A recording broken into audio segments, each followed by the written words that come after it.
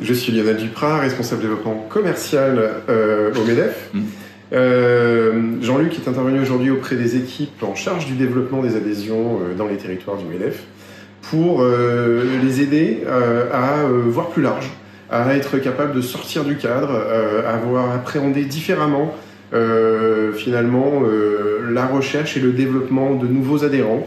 Euh, et c'est une vraie leçon de vie que Jean-Luc délivre au travers de ses expériences et nous en fait profiter pour qu'on sorte tous grandis et avec une attitude positive de cette intervention.